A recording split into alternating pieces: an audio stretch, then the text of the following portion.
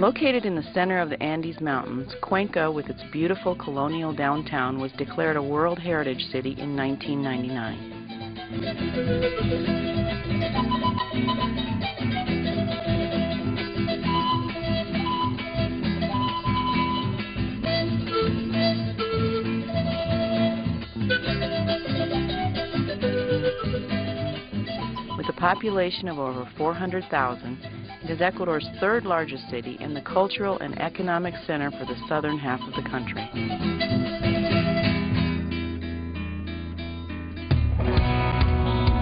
We began working with a small home group of 15 new believers.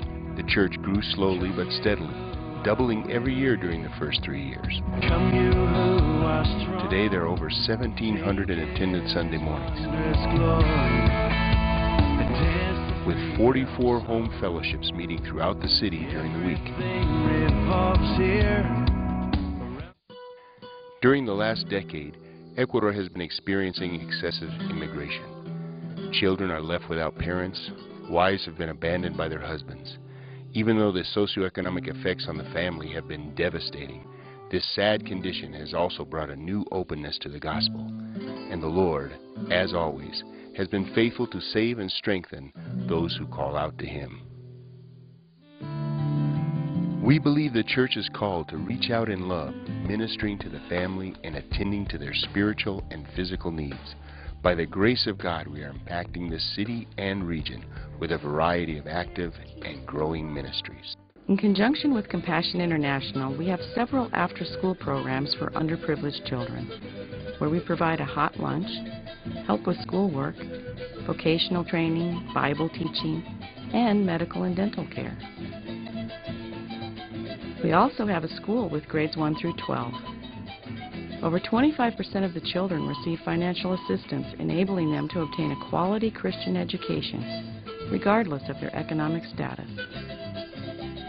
In July of 2008, in response to a great need, we opened La Esperanza Children's Home. Dedicated to rescuing orphans and children at risk, with full government approval, our current facility can serve 25 children. With the Lord's leading and your help, we will continue to rescue children and open new homes.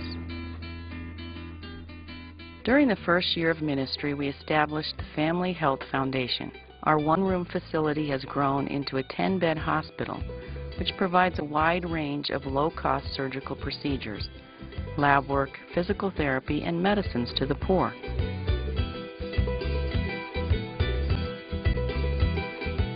We also sponsor medical missions in different parts of the country. Medical professionals from the U.S. serve on one or two week projects where they provide medical treatment and surgeries for the poor.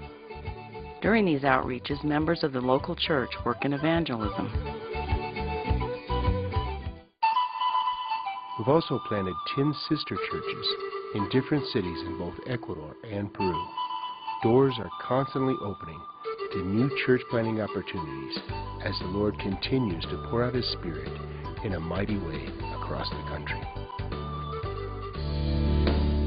2003, we established the first Christian FM radio station in Cuenca. It is having a wonderful impact on the spiritual atmosphere of the city.